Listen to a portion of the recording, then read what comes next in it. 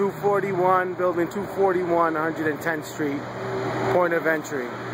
One foot off of the air vent where my walk wheel is. Then we're gonna go into the sidewalk, gray sidewalk, follow the gas, uh, remove and replace cobblestones. It's six feet of cobblestones. Uh, hopefully this roll off is out of the way. Move the roll off out of the way. If it's not, come out into the street.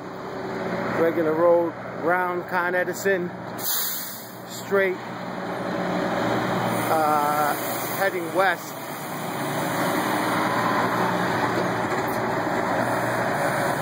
Uh, until we reach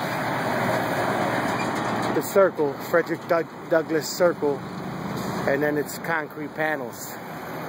Uh, hit the concrete panels, go across the road.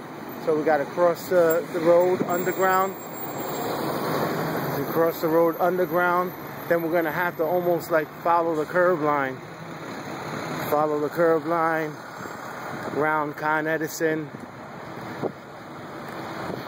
Again, still concrete panels. Following the curb line of Frederick Douglass.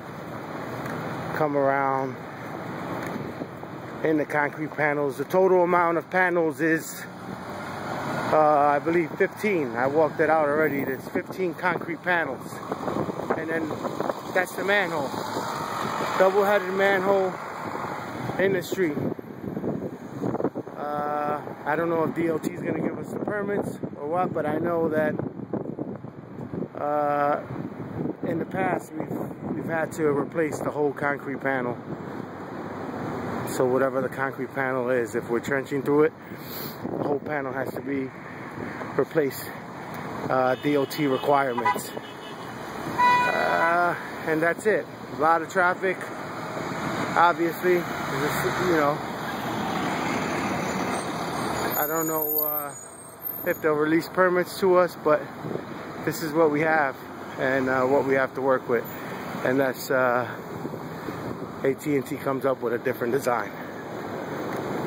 I'm just backtracking, going back to where I started.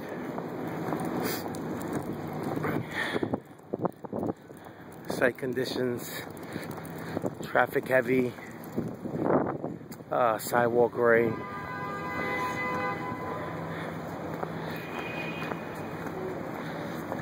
And cobblestones we have to remove and replace and that's our point of entry.